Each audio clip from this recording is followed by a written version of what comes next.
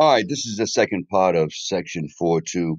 This is the addition rule. We just went through the multiplication rule when we're asked to find, a hey, what's the probability that this happens and something else happens next and something else. When we're doing an and problem, we're multiplying. We're going to see here when we have an or problem, we're going to add, use the addition rule. Okay, this section presents the addition rule as a device for finding probabilities that can be expressed as the probability of A or B, the probability that either event e, either event A occurs or B occurs, or perhaps they both occur at the same time as a single outcome. Key word in this section is or. So one of the first things you need to do when we get into this as far as an exam, you got to read the problem and say to yourself, "Hey, is this an and or an or problem?" If it's an and, sometimes the word and will be there, but most times it's just implied. When it's an or problem, they'll be specific. They'll say the word or. If it's and, you know that you're multiplying. If it's an or problem, you're going to be adding. So that's the first thing you need to get squared away. In this section, the key word is or, which is the inclusive or, which means either one or the other or both when we had the uh, multiplication rule, we had to think about, you know, do I have to adjust the probability of the second and third event? Were they dependent or independent? With the OR problems, we, we're going to find out that we have to worry about are these events mutually exclusive, which means they cannot happen at the same time. In other words, another adjective is the word disjoint, when things cannot happen at the same time or there's no overlap. Compound event the uh, addition rule. Um, any event combining two or more simple events. The notation is probability of A or B, probability that in, in a single trial, single trial, mind you, either event A occurs or event B occurs, or perhaps they both occur at the same time. When find the probability that event A occurs or B occurs, find the total number of ways that A can occur and the total number of ways that B can occur, but find that that total in such a way that no outcome is counted more than once. No double counting, I call it. There's the formal rule, all right? Probability of A or B occurring is the probability of A added with the probability of B minus the probability of both. Now, sometimes things cannot happen at the same time, so there is no subtraction necessary. All right, we'll see how this works out. We say that events A and B are mutually exclusive. In other words, disjoints if they cannot occur at the same time. I can't be on a plane going to uh, going to Chicago and be on a uh, boat going to Brazil at the same time. All right, mutually exclusive events, disjoint. This means that A and B have no common outcome. So, put another way, probability of A and B happening at the same time is zero. All right, mutually exclusive, sometimes referred to as disjoint. All right, the uh, if events are indeed mutually exclusive, if they can happen at the same time, notice you're not doing any subtracting. You're just taking the probability that A occurs and you're adding the probability of B occurs. There's no worry about subtracting any double count because there is no double count. They're mutually exclusive events. They can't happen at the same time. Venn diagrams, probably been seeing this since maybe about the fifth grade. All right, this is an example right here of events that are mutually exclusive. There's no common events. There's no overlap. And obviously here you see the portion here where there is an overlap. These guys are not mutually exclusive. They're not disjoints. Probability of A and probability of the complement of A, well, they can't happen at the same time. It's impossible for an event and its complement to occur at the same time. Pretty obvious. Once you decide that you ought to find a probability of an OR combination rather than an AND combination, what formula do you use? Well, it depends on the situation. In particular, it depends on whether or not the events being combined share any common outcomes. Take a look at this. Um, Number five, you randomly select a physician at Bellevue Hospital and you get a, a surgeon. You randomly select a physician at Bellevue and you get a female. Well, obviously, a surgeon could be a female. There's going to be some overlap. These events are disjoint. I'm, so, I'm sorry, I take that, that back. They're not disjoint, right? You can't have a woman and a surgeon at the same time. Number six, conducting a Pew Research poll and randomly selecting a Republican, doing that same poll and get a Democrat. Well, those would be disjoint. No one's going to be consider themselves a Republican and a Democrat at the same time. You randomly select a Corvette from the Chevrolet assembly line and get one that is free from defects. You randomly select a Corvette from the Chevrolet assembly line, you get one with that dead battery. That can't happen at the same time. If it's free of defects, then how can it have a dead battery? Because a dead battery is a defect. These would be disjoint. You get a fruit fly with red eyes, you get a fruit fly with dark brown eyes. Well, apparently what we're saying is that a fruit fly can't have red eyes and brown eyes at the same time. Disjoint. Receiving a phone call from a volunteer. Number nine. Um, of a, a survey subject who believes there's solid evidence for global warming.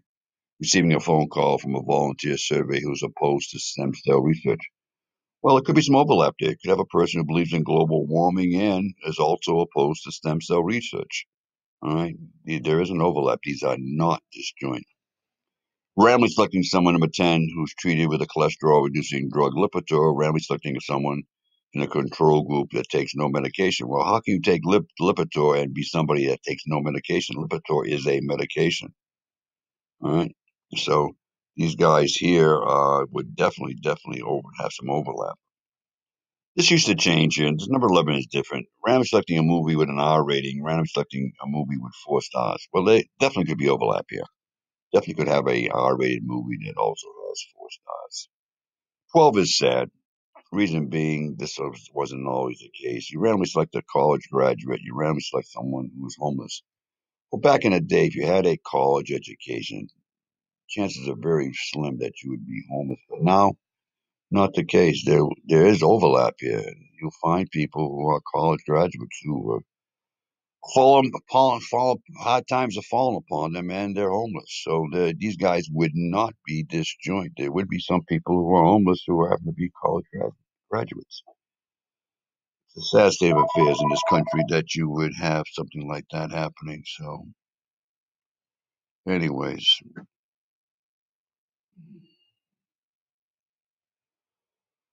All right, consider an introductory stats class with 31 students. The students range from freshmen through seniors. Some students are male, some are female. Um, this figure shows a diagram. Here are your freshmen. It looks like you've got uh, nine um, females and six males, total of 15. Here are your sophomores. Here are your juniors. Here are your seniors. And many times the data is presented in tables just like this one.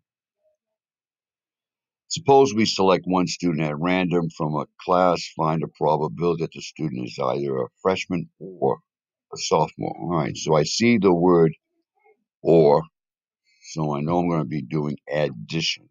So no matter what happens, I know I'm adding, I'm not multiplying. All right, since there are 15 freshmen out of 31 students, probably you pick a freshman is 15 out of 31.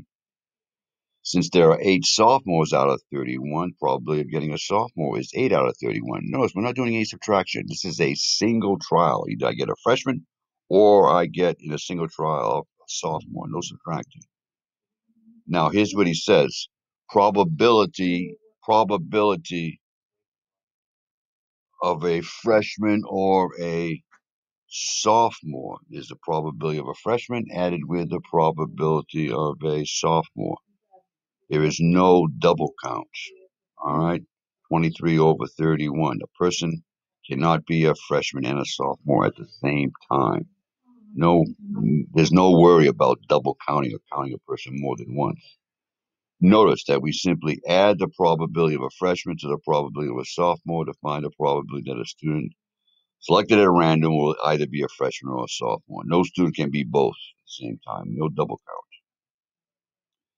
Select one student at random from a class. What's the probability the student is either a male or a sophomore? Well, there's eight sophomores out of 31. There's 14 males out of 31. But there are five sophomores who are also males. So I want to make sure that I don't double count those five people. All right. So we simply add the probability of a sophomore with the probability of a male. All right. But we're including sophomore males, we're including these five. We've already we've added these guys twice. I added it once to get the eight, then I added the five again to get the number of males. To compensate for this double summing, we simply subtract the probability that a person, hey, is a sophomore and a male at the same time. All right. So we're looking at the formal rule probability of a sophomore added with the probability of a male minus the probability that a person was a sophomore and a male same time. We don't want to double count them. We counted them once as sophomores. We don't want to count them again as being males. It's either one or the other. We don't want to double count. All right, so it would be 8 over 31 plus 14 over 31 minus the double count sophomores that were males over males that were sophomores. And 17 over 31 is a decimal point 548. So here's the formal definition. When things are mutually exclusive, when they can't happen, cannot happen at the same time, we simply have the probability of A occurring added with the probability of B and we're done. When they are not mutually exclusive, when they could be a double count, we have to subtract that double count. Probably A and B occur at the same time. Laura is playing Monopoly. On her next move, she needs to uh, throw a sum bigger than eight on two dice in order to land on no property in pass go. What's the probability that Laura will roll a sum bigger than eight? When two dice are thrown, the largest sum that can come up is 12. Consequently, the only numbers that are bigger than 8 are 9, 10, 11, and 12. Well, I can't throw a 9 and throw a 10 at the same time. So these events are mutually exclusive. There's not going to be any double counts. These outcomes that I just said are mutually exclusive since only one of these sums can possibly occur on one throw of a die or throw of dice. Probability of throwing a 9 um, plus the probability of a 10 plus the probability of 11 plus the probability of a 12. These are all numbers that she needs. These are all numbers bigger than 8. All right, probability that you roll a 9. Well, where's the 9? Right down here. We can get 3 and a 6, a 4 and a 5, a 5 and a 4, or a 6 and a 3. There's four ways. How many ways can you roll a 10? A 6 and a 4, a 5 and a 5, or a, sorry, a 4 and a 6, a 5 and a 5, or a 6 and a 4. Three ways. The 11, a 5 and a 6, or a 6 and a 5 is two ways, and only one way of rolling a 12, a 6 and a 6. All right? These are all mutually exclusive. You can't roll a pair of dice and get a sum of 9 and 10 at the same time. It's either one or the other. Right, so it's 10 chances out of 36 five chances out of eight. All right, remember this is a good thing to have. It tells you in different ways you need different totals. Make sure you have this in your notes. There are 36 degree like outcomes.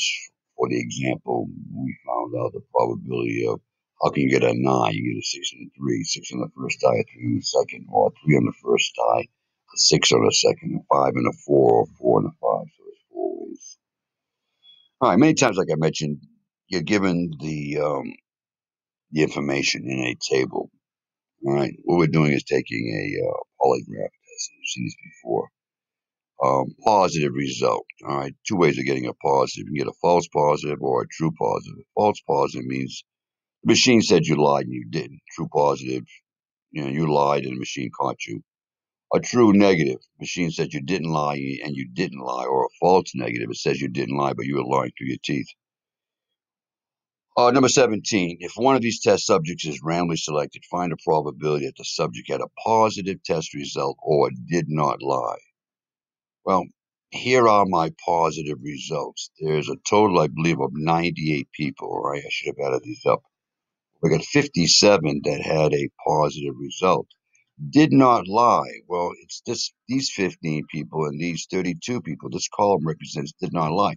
But you can see when I draw my circles, I'm about to double count these 15 people. Either I count them as positive results or I count them as did not lie. I don't want to count them twice. So I tell people is sometimes, you know, you count, you know, you get uh, 57 people here who did not uh, get a positive result. And when it comes time to count the probability of a negative result, just don't count those 15 people. Just say 32.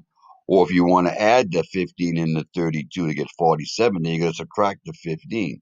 Some people find it easy, just don't double count right from the very inception. All right, here's a case where he's doing it the standard way. All right, there's 15 people where the 15, all right, are included in the positive and included in the uh, did not lie. I don't want to count these 15 people. I only want to count them once. I don't want to double count. them. Here's a case where I do it and I subtract it at the end. Or instead of using 47 here, you could have used just 32. 57 and 32, 89. All right. Make that decision yourself. And I find it easy to draw circles around the columns and the rows, and then I'll see which one I'm about to double count, and I don't do it. Here, uh, find a probability if one of the subjects was randomly selected, number 20, find a probability that the subject had a negative test result or lied. Well, here are the 41 people who had a negative result. Here are the 51 people who lied. But notice these nine people had negative results and lied. I don't want to count them more than once. So I'm either going to add the 41 and the 51 and then subtract the 9, or maybe take the 41 instead of adding 51 for lied. Maybe don't count the 9, just add the 42. I'm either going to combine the 9 and the 42 and subtract the 9 later on, or just don't add the 9 right from Jump Street. Right, there it is. He does it the formal method. Right here, I would have maybe used 42 here and not have to worry about subtracting. I, on my own, didn't want to add the nine, those nine people who lied and had a positive, uh, not a positive result, but did lie. All right, here we have, and what I suggest, sometimes I give you, the problem gives you the totals. Here we're looking for, find a probability that selected, that the selected challenge was made by a man or was successful. Well, here are my men, and here are the people who had a successful challenge. All right, so here now, what first thing you need to do is get your totals. All right, so here are my males, 489 out of 839. But the problem didn't give me this. I had to add across, add across, and then add down, and add down on both of these to get this 839. All right, notice this sum here and this sum here is the same. All right, so male or had a successful challenge. Well, here are my males here in red. It's 489 out of 839. Here are the 327 people that had a successful challenge. But notice, to get to 327, I had to add the 201. To get to 49, I had to add the 201. I don't want to count those 201s, these people that were male and were successful only once. I don't want to double count them. So what he does here is he's at the very end here, he ends up subtracting 201. Or here's an idea. Take 489 out of 839. Instead of making this 327, don't add the 201, just include the 126. What it does is you take 327, subtract 201, guess what you get? 126. Some people find it easier not to double count right from Jump Street. Some people, you know, will add it and then end up subtracting, which I think is kind of a waste, but it's up to you. All right, so here we are asked to find probability of a male or was not successful. Well, here are my males, right? 201 and 288 for a total of 489 out of a total of 839. Was not successful. Well, not successful was these 288 and these 224 for a total of 512. But as you can see, I'm about to double count these 288. I counted them once when I was counting up my males, and now I'm about to count them up again when I I'm counting up people who were not successful. So if you want to do that, make sure you subtract the double count or just don't add it from Jump Street. Instead of saying 512, just use the 224. All right. Then you won't be then you don't then you won't have to subtract the double count. Here again you get the idea. All right. Hopefully this helps you out. Um, all right.